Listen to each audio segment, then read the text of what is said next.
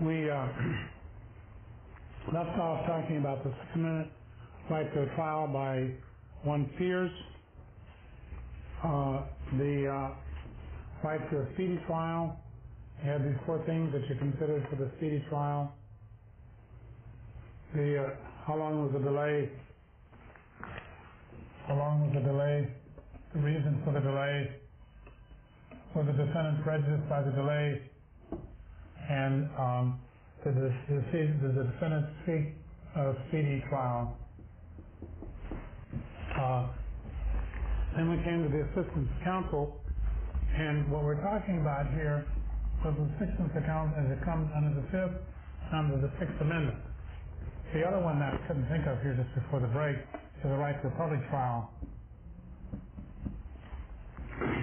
And at the end of the break, we were right here talking about the Fifth Amendment. And we were saying that there are two aspects to this Fifth Amendment right, to the Miranda right. And the, uh, the Miranda, I'll put it over here. Miranda is required by the Fifth Amendment.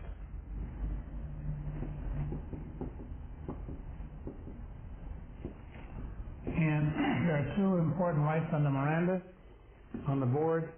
That would be uh, right here, right over here, with this branch right here. Two rights. One is the right to remain silent, and the other is the right to right to a counsel, right to lawyer.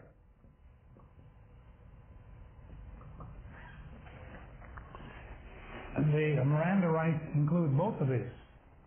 But the, when the defendant asserts a right, they can assert one and not the other. The person says, I don't want to talk to you, that's, remaining, that's asserting the right to remain silent. And the person says, I uh, want to see my lawyer, that's different.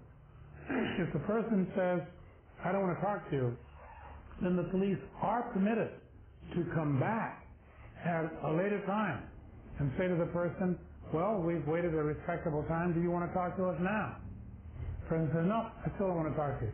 These can come back again and again. As long as they're not harassing the person, they can keep coming back and uh, asking the person, do you want to talk to us now? If they assert their right to remain silent.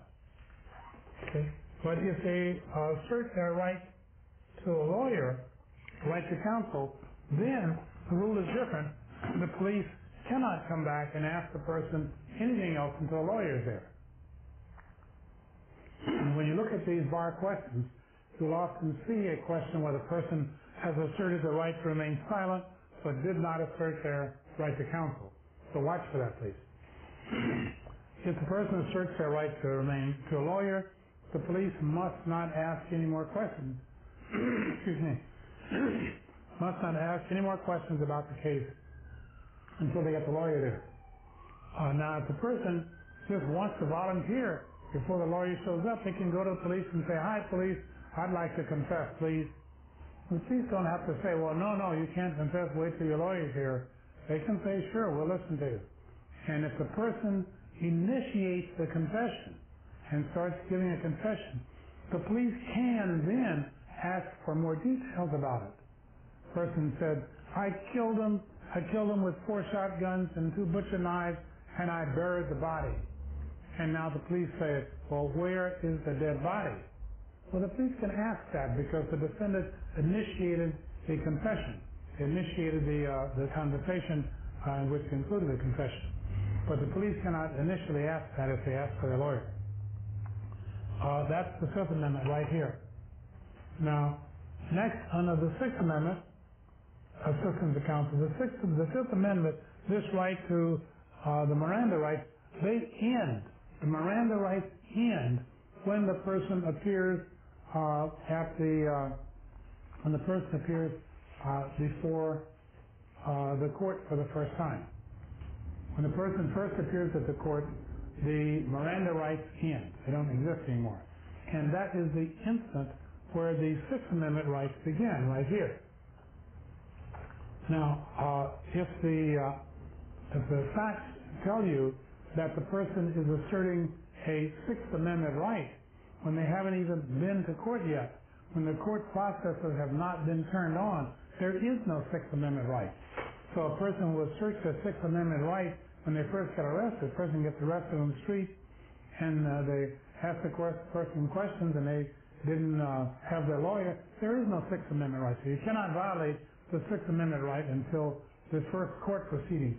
At that first court proceeding right here, the person is entitled to the assistance of counsel. That's the Sixth Amendment. Now, at this, when the Sixth Amendment right begins, when the Sixth Amendment right begins, the person's entitled, we'll put it right here, when the Sixth Amendment right begins, I'll put it up here for lack of a better place right here. I'll put it here. When the Sixth Amendment right begins, the person is entitled to the assistance of counsel at all critical stages of the proceeding. Okay?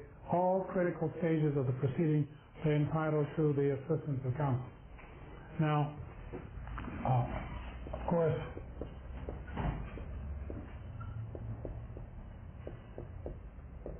all critical stages, and of course the question becomes, what is a critical stage?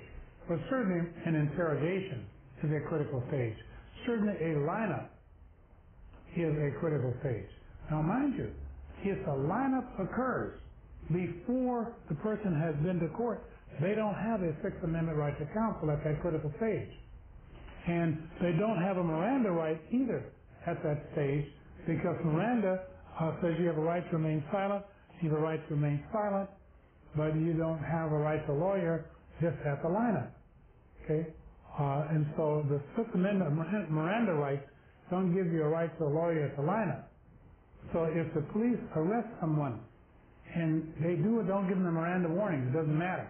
And they have a lineup, it does not violate the Fifth Amendment to have a lineup without the lawyer if they haven't been to court yet. But if they have been to court, Fifth Amendment's over, Sixth Amendment again, they have a right to a lawyer at the lineup, because that's the critical phase. Finally, under the Sixth Amendment comes the right to a public trial. The right to a public trial belongs to the defendant normally. The Sixth Amendment says, right, the defendant has a right to a public trial. Now, this right to a public trial means that the defendant has a right to a public trial at, at the trial proceeding itself, the trial, at the jury selection, all that stuff leading up to the trial, even at the preliminary hearing, even at suppression hearings. However, however, the court can, under the right circumstances, not have a public trial at, for example, a suppression hearing if an undercover police officer is going to testify at the suppression hearing. They don't want to disclose the identity. So if the court's got a good enough reason, and uh, then the, they can close uh, that part of the trial to the public. But without that, they really can't do it. The public, the, defendant, this is the defendant's right to a public trial, but the court has held that the public at large, every member of the public, has a right to know about governmental proceedings, except, of course, you know, very confidential ones of some sort. But these are important governmental proceedings, and people have, when the government is prosecuting somebody and is about to take their liberty or maybe even their life away from them, the, uh, the government, the individual, the public, has a right to know what the government is doing. This is a government of and by the people and all that stuff. And so uh, the public has a First Amendment right to attend these trials, not a Sixth Amendment. The defendant has a Sixth Amendment right. The public has a First Amendment right to be there. So that's how it works. Now, uh, we were uh, going through this uh, text on a question, and uh, in the question we were now at line 29. And at line 29 says, Sally's statement, she, uh, uh, Donna wants to suppress a bunch of stuff. She wants to suppress Sally's statement to Tech, which Donna claims, A, is hearsay, well it is, and the admission of which would violate her rights under the Sixth Amendment. Well, that's how we got to talking about the Sixth Amendment. And the Sixth Amendment has uh, these rights uh, in it, and uh, the uh, other right that I kept forgetting here under the Sixth Amendment is the Confrontation Clause.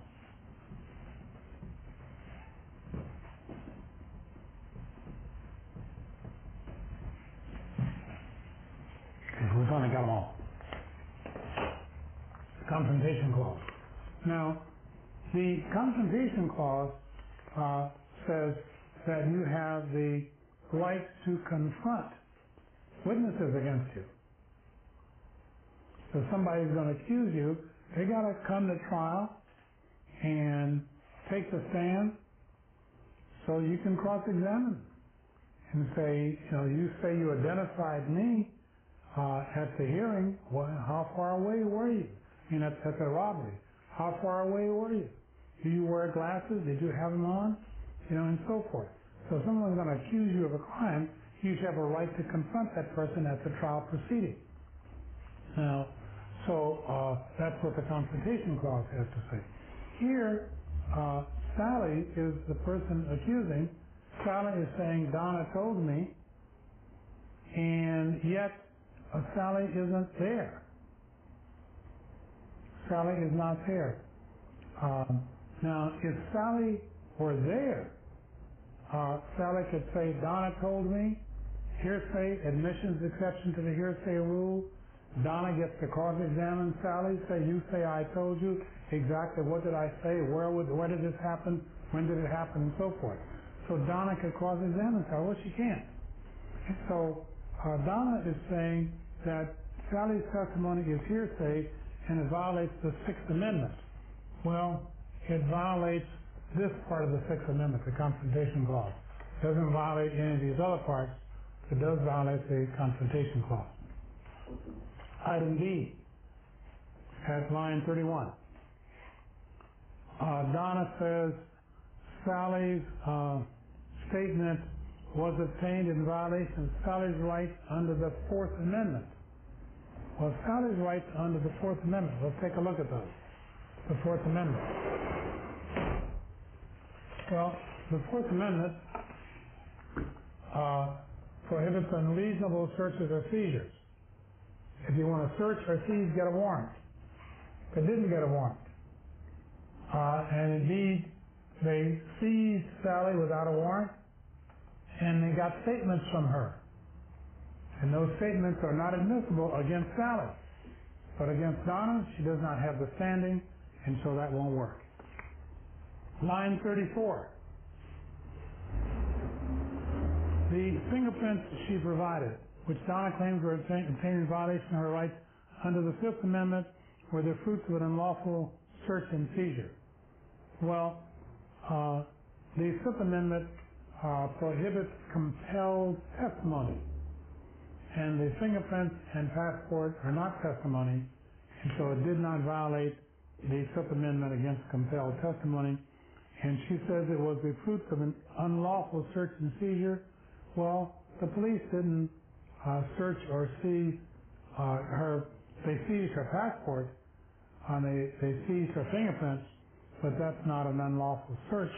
And furthermore, the, the state can require that the person show up and produce their fingerprints and photographs and documents and that sort of thing. Nothing unlawful about that. The requiring the person to produce these kinds of documents does not violate the Fifth Amendment. The Fifth Amendment prohibits compelled testimony, and these documents are not testimony. Item three, line 38, Donna's passport. I'm sorry, item two was about her fingerprints, and item three is about the passport. And we, we covered them both. Neither one of those constitutes testimony. And the Fifth Amendment prohibits compelled testimony. And then they ask you, what should the prosecution argue in opposition, and how should the court rule? And that takes care of this question with Donna and Peck. Now, let's next go to uh, the question from the February 2004 bar. February 2004 is uh, the question with Bank and Dave. And once again, let's go through the events as they occurred, talk about the law, and then answer the questions. Again, let me remind you that you answer the questions according to how they're asked. But what we're doing for teaching purposes is as we go through each time some event occurs, we talk about the law and application of law as raised by those events. But do not answer a bar question by going by saying, fact one says so and so, let me tell you about fact one. Fact two says so and so, let me tell you about fact two. And fact three says so and so, let me tell you about fact three, and so forth. So please do not do that. Uh, line six. Uh, bank was robbed at 1 p.m. by a man who brandished a shotgun and spoke with a distinctive accent. The teller gave the robber packets of marked money, which the robber put into a briefcase. Okay. Background, police haven't done anything yet. Remember that it is the police who, uh, we're, we're outside the court system. We're looking at the, uh, the uh, police conduct. Only the police can violate, only the state can violate the Constitution. In a criminal law problem, that state acts as usual police. Be sure to point out to the bar examiners that when the police start doing something, that that is the government acting, and then that the, uh, they, the only the government can violate the Constitution, and then work your way down uh, the Constitution. That part of the Constitution usually gets applied to the state through the Due Process Clause of the 14th Amendment. Now you've got that part of the Constitution applying to that police officer's conduct. Be sure to put that trace in there. If you don't put that trace in there, the bar examiner will take points away from you. Continuing, line 7, at the end of line 7. At 3.30 p.m., the police received a telephone call from an anonymous caller who described a man standing at a particular corner in the downtown business district and said the man was carrying a sawed-off shotgun in a briefcase. I'm not quite sure how you see the sawed-off shotgun in a briefcase, but maybe it got opened at some point and the person saw it. We don't know. So you can see how it makes this anonymous telephone caller a little bit suspicious because the information which they gave, we're not quite sure how uh, you can get that information. So be suspicious but continue. So the anonymous caller came in. Now, of course, um, the police are going to use that anonymous caller for a probable cause. And um, the to establish probable cause, the police must have um, uh, they must have under the totality of the circumstances. They must have uh, they must believe that more likely than not, the person to be found or the items to be seized will be found at that particular location. Uh, there's an older case called Illinois versus Gates, in which the police supposedly got an anonymous tip saying that uh, a man was driving back from Florida with drugs in the trunk of his car. And they gave some details about where the drug transaction was going to take place at a particular motel in Florida, that the person would buy the drugs there, they would put them in the trunk of the car, it would happen on a certain date, and the person would be driving back to Illinois. So when, the, when the police arrested this person, when he got back to Illinois, the police said we had this anonymous tip that said all this was going to happen. Well, the anonymous tip, um, you know, is suspicious. But if the anonymous tip gives information about something that's going to happen in the future, if it's going to happen in the future, that helps to give some reliability because when those things begin to happen, that adds reliability to the anonymous tip. But if you get an anonymous tip and you don't have anything like that that kind of verifies it, then that's a very suspicious anonymous tip. Now, people, the, the courts assume, I mean, let's back up a second. This, uh, the probable cause to, to getting it from uh, some source, you need to have two things. you need to have a reliable source from which you're getting the information, and the uh, the source that is providing it needs not only does, does that person need to be reliable, but they must, must have gotten it in some kind of a believable or reliable way. The information they got, they acquired it in some way that seems reliable or reasonable.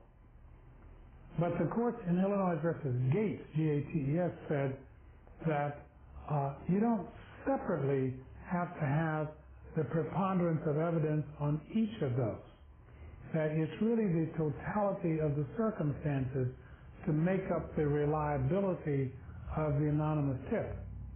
And if you can believe more likely than not that the, that the anonymous, that there's, that it's likely that what the person has tipped about is going to be true, that's a reliable anonymous tip. And you, you can, whatever you're missing in terms of the reliability of the informant, maybe you don't know anything about the informant because it came in on a strange tel- telephone line. But the informant gives you all kinds of information about what's going to happen. These people are going to meet at the train station. One of them's going to be wearing a black suit. The other one's going to have a red rose in the lapel. He's going to be carrying a brown brief briefcase. The drugs are in the briefcase. They're going to meet somebody who's wearing a white suit, and they're going to have a top hat on and some blue shoes. And you say, I'm going on to be ridiculous here, but the point is that if this a total this caller is totally anonymous, and they give all that kind of information, and the police go to the train station and they watch all this happen, that's reliable enough. In this case, you have a person who says a man is carrying a shotgun and a briefcase, and uh, we don't know how they got the information, and the tipper, we don't know if they're reliable. Have they given reliable information before? Not really. And so we're not so sure that this information is sufficiently reliable. So be sure to challenge that. Generally speaking, citizens and citizen informants are presumed to be reliable because the citizen has no interest one way or another in the outcome. So they are presumed to be in, uh, reliable. Uh, but you still need, if it's an anonymous you need something a little more. We don't have much here, so be sure to challenge that and say that this may not be a, uh, the police may not have sufficient probable cause. But let's go ahead. Within minutes, a police officer who had been informed about the robbery and the telephone call observed Dave holding a briefcase at that location. Dave fit the description given by the anonymous caller. Well, uh, do you have enough? Argue the point. Point out that uh, in these tip cases, that the police need a reliable source. Citizen informants are presumed to be reliable. They need a, and the person needs to have gotten the information in a reliable way. But that if either one of these branches is very strong, you can make for a week in the other one. And here, uh, the police, the, the person who gave the description of the person who was uh, carrying the, I don't know if there's enough not. You know, just describe, I won't go through the facts again, but make an argument that you may or may not have sufficient probable cause here. Next paragraph. The officer approached Dave with his service revolver drawn and drawn and pointed at the ground. He explained the reason for his approach. He handcuffed Dave and opened the briefcase. Doesn't say he, just says the officer. It does say he explains as a male officer. Handcuffed Dave and opened the briefcase. Now, was that okay? Is this a lawful arrest or not? Answer, make the argument we just talked about. If this is a lawful arrest, if this is a lawful arrest, the police are not only arresting this person based hopefully on probable cause, but they are also searching the briefcase. Is that a lawful search? If you want a lawful search, what do you do? Get a warrant. Did the police get a warrant? No. They have to prove an exception with a preponderance of the evidence. Which exception are they going to try to prove? They're going to try to prove this one. That it was uh, incident, they'll, they'll claim that the police searched the briefcase based on this exception.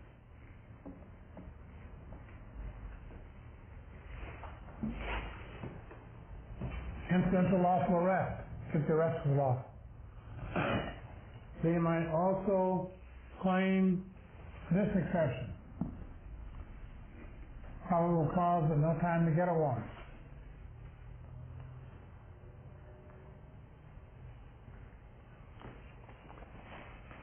Continuing.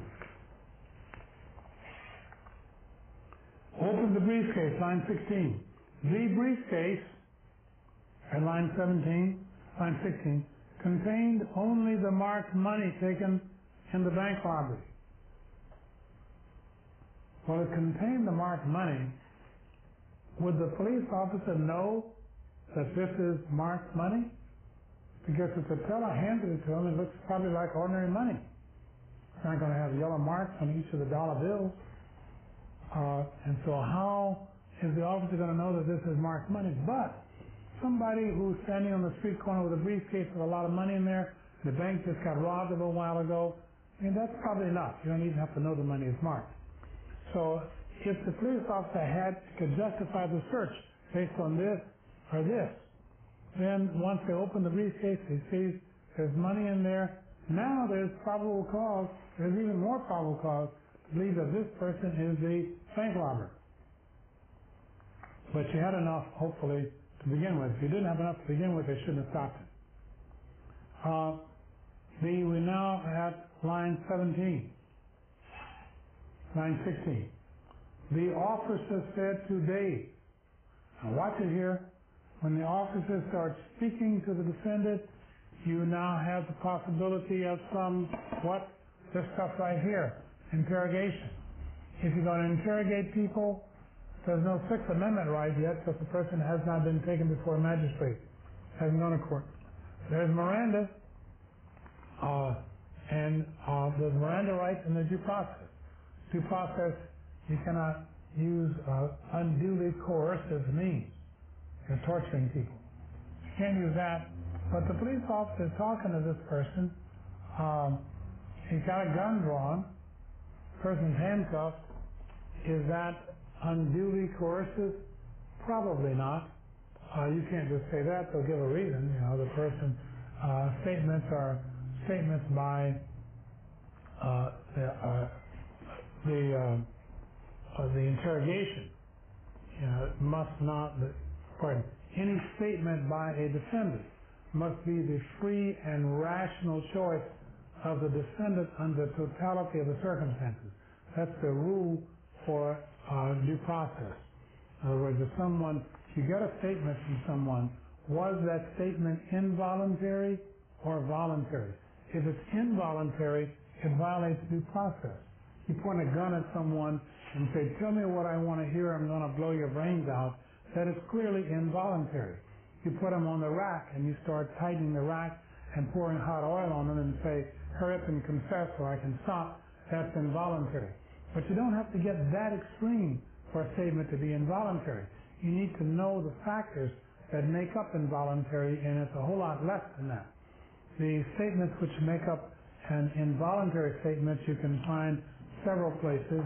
I'll give you some factors here that you can find in your uh, in your three-ring binder. Tell you a page where you can find these factors. Uh, in your three-ring binder, under uh, criminal uh, procedure, under criminal law and procedure, one of the questions has a whole list of factors which um, help you decide. I want you to see this list because it's useful. Uh, there's several places, but one place you can find it is under a question from the February 1980 bar, February 1980. I think that's still in your binder. And if you don't have it in the uh, February 1980 bar, uh, you can also find it in uh, another place. I'll tell you here in just a second. February 1980.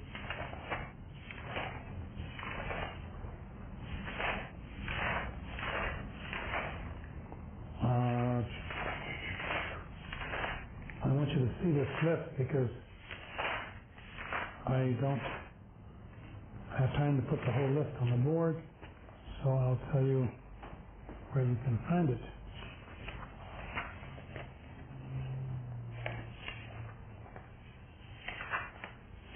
Um, you also can find it, the July 79 question, July 79 question on the second page of that question, and the February 1980 on the first page of that question. You will see a list of factors there um, which you can use to help decide whether or not a statement was voluntary or not. Let me read them here to you, just uh, so we can talk about them in a second. It says, a, a statement, uh, an out-of-court statement, will be suppressed if it was involuntary and therefore in violation of due process. How do you decide whether or not a statement was involuntary? And remember that the rule is that the statement must be voluntary. And the defendant doesn't have to prove that they beat me up to get the statement. He doesn't have to prove it was involuntary. What the defendant has to do is to make a credible claim that the statement was involuntary. That's all. A credible claim that it was involuntary. And then the burden shifts to the state to prove the statement was voluntary. And what factors do you take into account in deciding whether or not the statement was voluntary? Rule.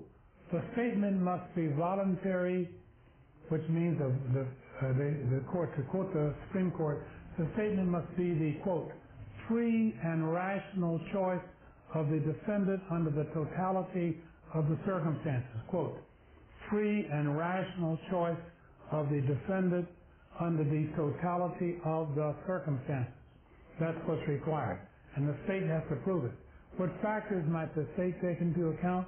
Well, I have 11 factors listed here from various cases in both of those uh, locations I told you about. One of them says the factors are the defendant's age.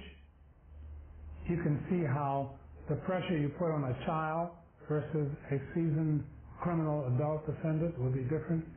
Age, intelligence of the defendant, experience with the criminal justice system.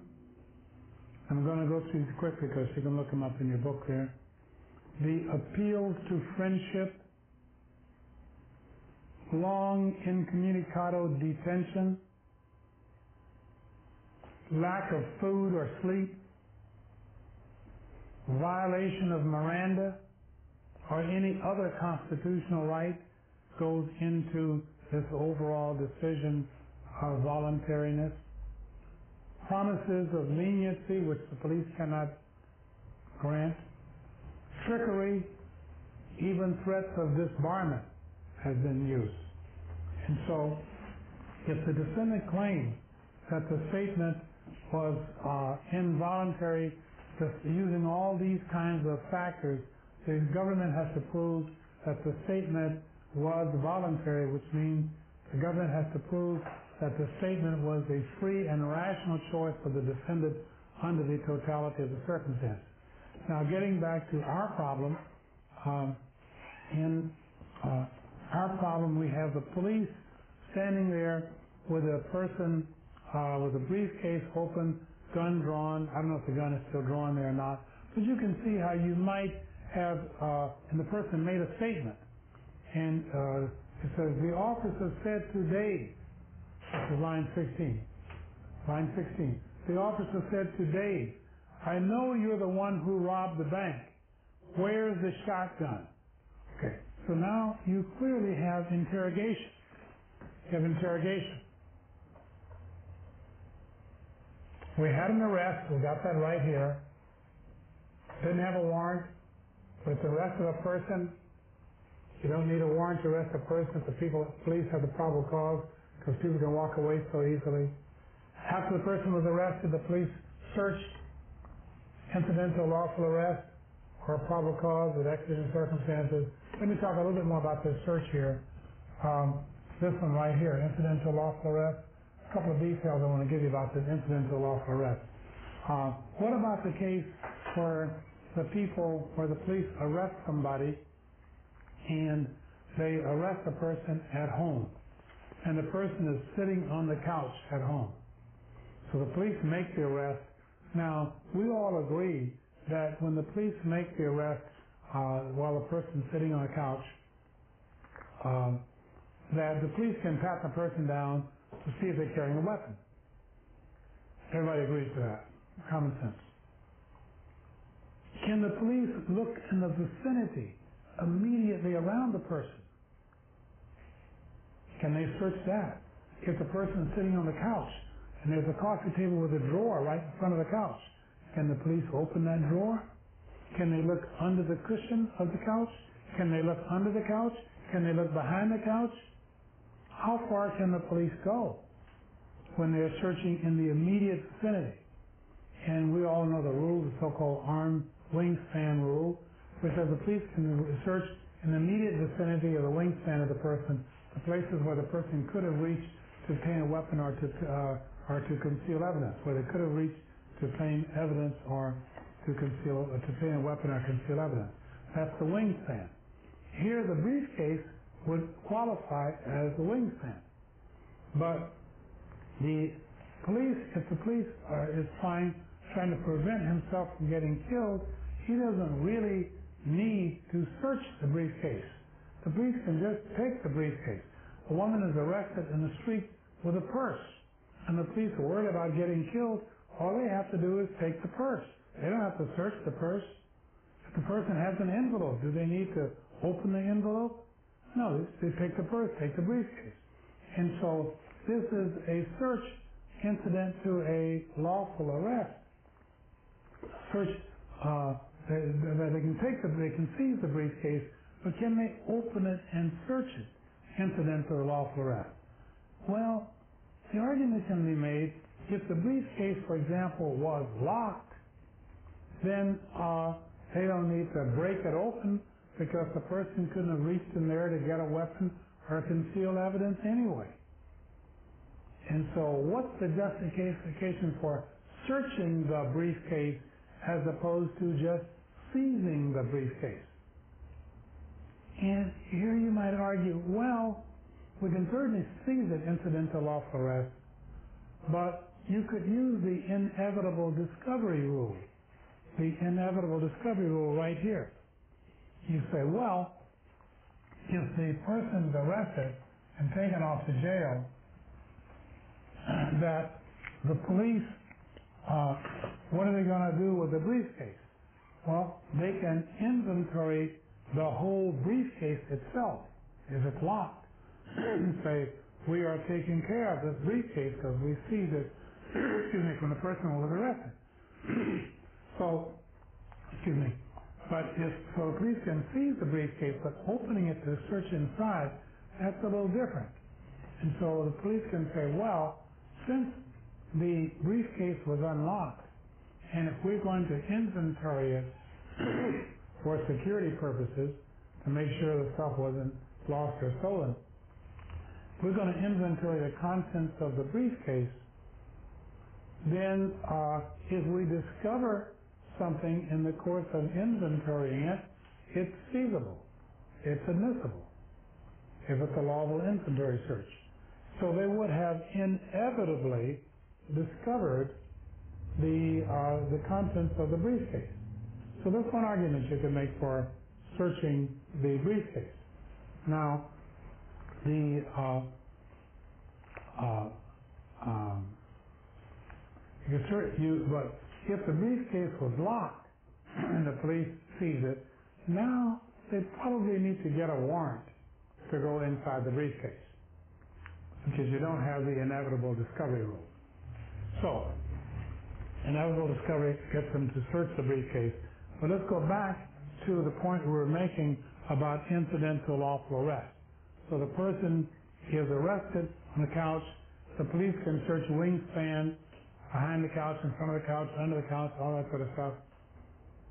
And that all of that kind of search is considered to be incident to a lawful arrest. Now, what about the case where the person is arrested in a car? In that case, certainly again, the police can search, excuse me, they can search uh, the person being arrested, excuse me, they can search the person being arrested, the pockets and such things, because you can't let them take that stuff to jail. But what about the inside of the car? Can they search the inside of the car? The way they could have searched under the couch, below the couch, in front of the couch, and so forth. And the answer is that the current law under New York versus Belton, B-E-L-T-O-N, is that yes, the police can search the entire passenger compartment of the car, the entire passenger compartment of the car, incident to lawful arrest. Now, if you use the arms span reach rule, you get kind of a problem because if you arrest a midget who is driving a limousine, then the midget could say, there's no way I could reach into the that far into the back seat part of the limousine. Um, if you arrest a basketball player who is driving a little MG sports car, they can reach around and underneath the car without even getting out of the car. And so if you use the arms span reach, you end up with this funny rule that depends on the height of the person and the size of the car and all that. So the Supreme Court, fortunately, came through with this wonderful rule saying we'll solve the problem that you can search the entire passenger compartment of the car. Okay, that includes the glove compartment, under the rug of the car, back seat of the car. If there's a coat in the back seat, you can look in the pockets of the coat. If the back seat pocket coat has got a zipper bag, you can open the zipper bag, all that sort of stuff you can do. Now, there's something that's locked, uh, you're probably going to have to get a warrant unless you can make out probable cause plus exigent circumstances. Otherwise, you can search all that stuff. Incident to lawful arrest. So, we've got this cop standing on the car, gun drawn, arrested the person, seized the briefcase, incident to lawful arrest. Uh, open the briefcase, you can justify that under the inevitable discovery rule, and now seize the money, uh, and uh, seize the money, and now the police says to Dave. Now, if the police officer is going to say to Dave, you immediately have possibility of some interrogation here. Is that interrogation lawful? Sixth Amendment does not apply yet. Miranda does apply. It did not give a person Miranda warnings. And uh, so, and also due process applies.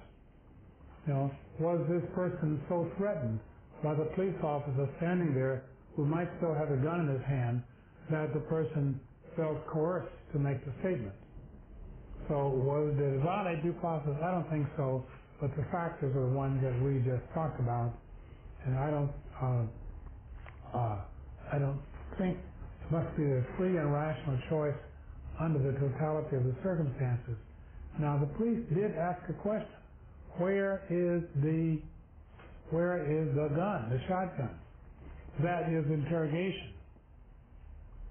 You have to give the rule. What is interrogation? and show that that's interrogation. Rule. Interrogation is any word or conduct by the police which they know or has know or should know is likely to elicit an incriminating response. Once again, interrogation, we're defining interrogation right here. Interrogation is any words or conduct by the police which they know or should know are likely to elicit an incriminating response. Here, where is the shotgun? Well, what do you expect the guy to say? You're asking for an incriminating response. so, uh, the, uh, in fact, the police here said, uh, I know you are the one who robbed the bank. Where is the shotgun? Give the rule, show, and conclude that's interrogation. It's interrogation without Miranda, because we didn't give the Miranda warning.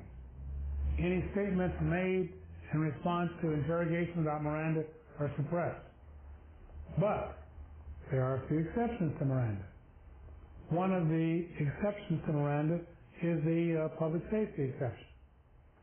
Now, the public safety exception to Miranda, public safety exception to Miranda, uh, was first uh, uh, announced in a case called New York versus Quarles, Q-U-A-R-L-E-S. In New York versus Quarles, the police were uh, pursuing a person who was wanted for rape. And uh, this person ran into a grocery store. The police pursued him into the grocery store, finally caught up with him in the grocery store, and arrested him. When they arrested him, they found the person had a shoulder holster for a pistol, but there was no pistol in the shoulder holster. And the police immediately said, without any Miranda warnings, where is the pistol?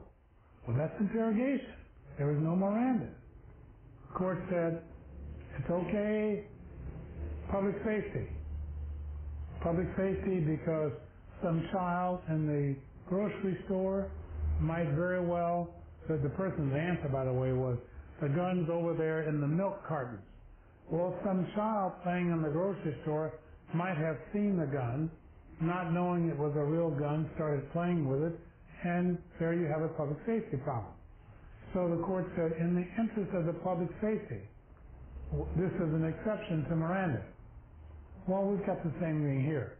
Where the shotgun and it's fit by Quarles?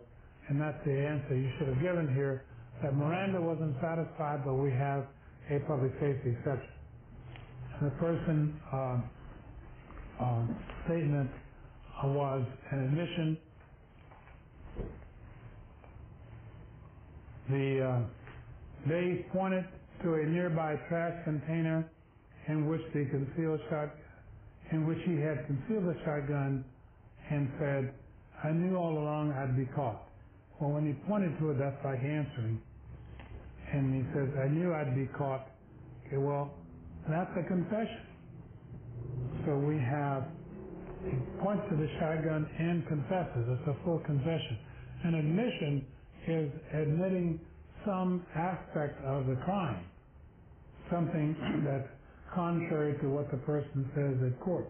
When they get to court, if they anything they said contrary to the position they take at trial, that's an admission made outside of trial.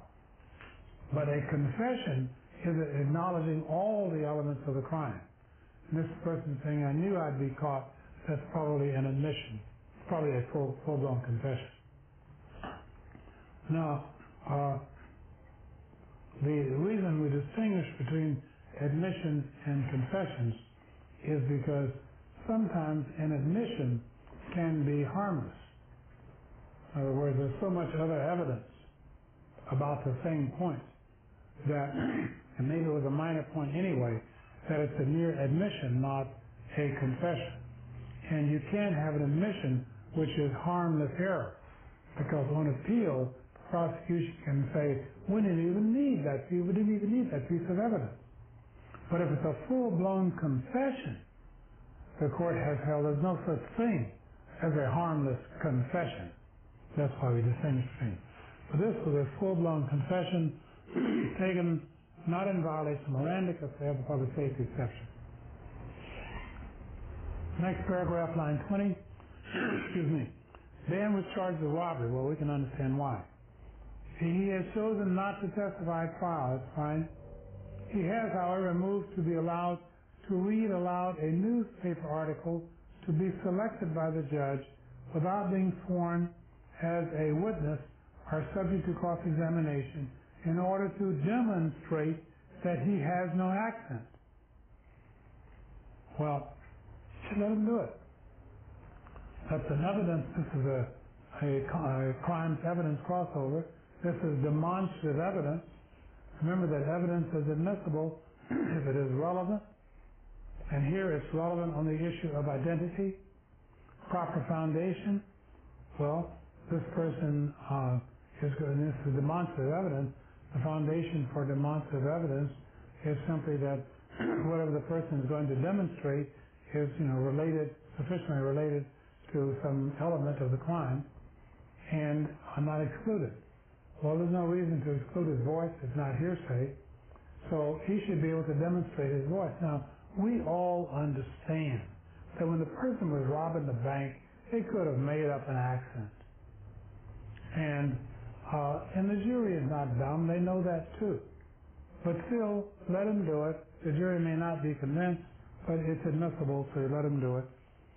He also moved to exclude from evidence the money found in the briefcase. Well, he would have excluded, tried to move it on the basis that we just talked about, and his statement to the police officer. We've covered all that. Call of the question, line 26. How the how should the court rule on Dave's motion regarding the following items? Item one, reading the newspaper aloud. That's an evidence question. Let it in. Two, the currency that was discovered as a result of the of the seizure of the arrest. Was it a lawful arrest? And was the discovery of the money incident to the lawful arrest? And we talked about that. Finally, Dave's statement to the police officer, same thing. You have the Miranda interrogation, but you have the public safety exception, and finally the shotgun itself. So we talked about all that. That's how that would be analyzed. When we come back from our break, uh, 10 minutes from now, we will talk about the question from the February 01 bar, which is the Deuce Cody question, and we'll start back at uh, uh, 15 minutes after. I'll give you an extra few minutes.